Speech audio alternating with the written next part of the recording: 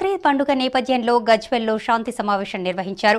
Gajwel ACP Narayana municipal commissioner Krishna Reddy ఆధ్వర్యంలో నిర్వహించిన ఈ మీటింగ్కు అడిషనల్ డీసీపీ నరసింహారెడ్డి హాజరయ్యారు. ఈ సందర్భంగా ఆయన మాట్లాడుతూ శాంతి భద్రతలు అదుపులో ఉంటేనే అభివృద్ధి సాధ్యమన్నారు. బక్రీద్ నేపథ్యంలో సమస్యలు తలెత్తకుండా ముందు జాగ్రత్తగా అన్ని చర్యలు తీసుకున్నామని చెప్పారు. మసీదులు ముఖ్య ప్రాంతాల వద్ద పటిష్టమైన బందోబస్తు చర్యలు చేపడతామన్నారు.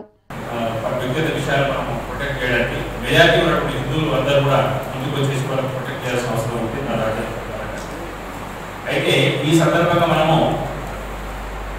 ప్రతి పండగ కూడా మన పండగ ముందు తర్వాత పండగ అప్పుడు మనం తీసుకోవాల్సిన జాగ్రత్తలు మనం ప్రతి పండగ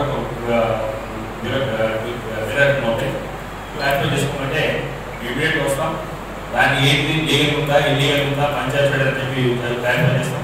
అదే చట్టపరంగా దాన్ని యాక్షన్ తీసుకోవాల్సి ఉంటే మేము యాక్షన్ తీసుకుంటాం. అంతేకాని మీ అందరూ